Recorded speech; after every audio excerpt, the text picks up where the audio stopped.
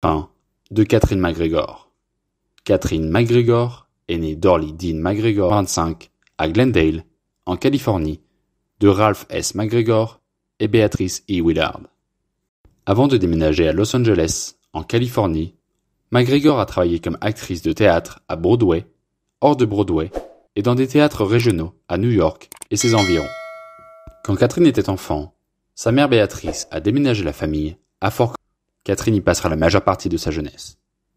Elle est diplômée de la Northwestern University avec une spécialisation en art dramatique et a déménagé à New York en 1949 par les Arthur Murray Dance Studios en tant que professeur de danse.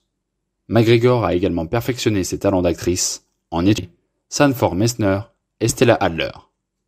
Elle a fait une tournée d'été à Lebanon, en Pennsylvanie, sous le nom de Dorleen Dean McGregor, mais est passée à l'utilisation McGregor au fur et à mesure que sa carrière d'actrice avançait.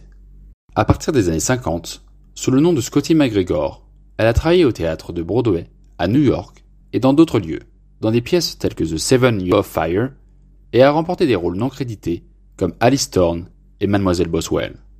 Elle est apparue dans de nombreux épisodes de diverses séries télévisées. Love of Life, The Secret Storm, The Nurses et All in the Family, de 1973. Elle a eu des rôles dans les téléfilms The Death of Me Yet, de 1971, et Tell 1974. Le rôle le plus connu de McGregor était de 1974 à 1983 dans La Petite Maison dans la Prairie, de NBC, en tant que Harriet Hollis, propriétaire du magasin général, et un rôle comique. La description préférée de McGregor de son personnage dans La Petite Maison dans la Prairie est venue dans une lettre de fan du Minnesota dans les années 1970, dont était décrite comme la touche de poivre dans la douceur de la série. En 79, en raison de la popularité de Little House en Espagne, McGregor a été invité à Madrid. 125 Lineas et Ding Dong la Cochina de RTVE. Après La Petite Maison dans la Prairie, elle se retire des produits au profit du théâtre local. Elle s'est consacrée à la religion hindoue et à l'enseignement du théâtre aux enfants, au We Hollywood Vedanta Players, avant de finalement prendre sa retraite au début. Elle a été mariée à l'acteur Beth Remsen de 1949 à 1950 et à l'acteur, réalisateur et professeur Edward J. K. Martin, de 14 ans son cadet, d'août 1969-10. Elle n'avait pas d'enfant.